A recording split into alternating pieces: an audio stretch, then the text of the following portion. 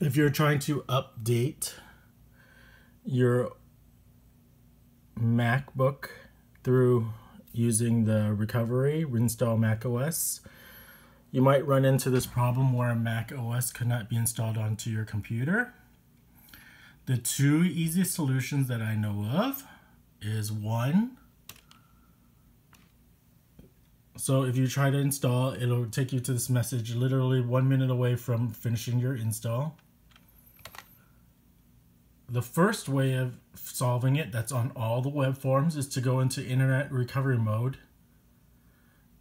And that's just using the, instead of just command R, you'll use option command R like this when you boot up and you'll see a little, what's it called? Uh, world icon or earth icon. That means it's internet recovery, like the world. Or if that doesn't work, you have to hold shift, uh, option, command, and then R. So it's just shift, you're adding shift and option instead of just option, shift, option, command R during boot up. And that'll take you to good old internet recovery. So internet recovery will fix this problem for sure, probably. I've seen everyone say it, it has. I can't go in because I have a MacBook 2009 and there's no internet recovery with this firmware.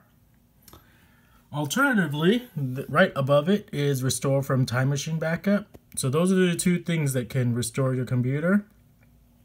So you can restore from time machine time machine backup. And obviously the first option of internet recovery is ideal because you'll actually update your Mac probably.